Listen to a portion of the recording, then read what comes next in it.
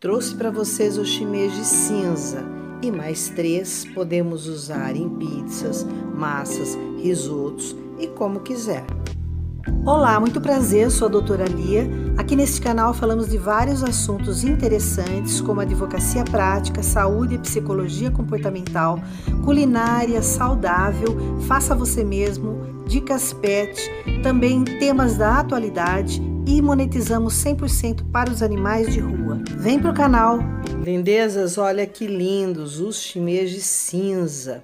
Daqui a pouco eu vou falar um pouquinho mais deles.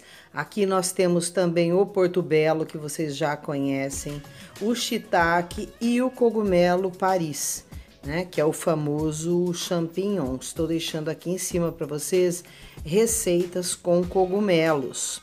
E este cinza é um dos que a gente ainda não tinha trazido, é muito difícil de encontrar. Eu trouxe o branco, o preto e o salmão. E hoje vamos fazer o molho na própria panela, que se chama uma passata, né? Mais passata italiana. A única coisa que eu não tirei é a pele, tirei as sementes, mas não tirei a pele de um tomatinho. Estou deixando aqui para vocês também eh, na descrição de como tirar a pele do tomate facilmente. Coloquei um pouco de azeite de oliva, cebola roxa, cebola comum e dois dentes de alhos fatiadinhos. Então vamos deixando assim, olha, refogando rapidamente e o shimeji cinza já higienizei também, estou deixando o vídeo da higienização dos cogumelos e vamos aqui colocar ele um pouquinho antes porque ele é um pouquinho borrachudinho. Então vamos deixar aqui uns dois, três minutos com a panela tapada, tá? E depois já vamos colocando os outros. No caso do shiitake, eu retiro o cabinho, que ele é um pouquinho mais durinho, mas pico bem e coloco aqui. E o próprio, o rodelão, né, do shiitake, eu fatio ele.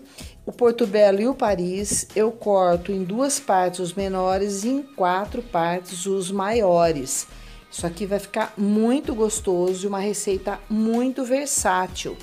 Então, aqui eu vou colocar um pouco de uh, sal rosa, também a páprica defumada, pode ser outra se você quiser, pode ser a picante ou a páprica doce, e também um pouco de orégano seco, estou usando aqui. Vai ficar super saboroso, então dá para usar em pizza, também num dos pãezinhos do canal. Também é, você pode usar numa massa, num risoto, muito bom. Aqui eu tampo e em 10 minutinhos, olha, não baixei o fogo, já está pronto. Se caso der uma grudadinha, coloca um fiozinho mínimo só de água filtrada, né? Só para soltar. Então vocês vão amar. É uma mistura de sabores que fica deliciosa. Fiquem com Deus. Aproveite para assistir as recomendações que estou deixando aqui nesta tela. Obrigado por assistir e um grande beijo!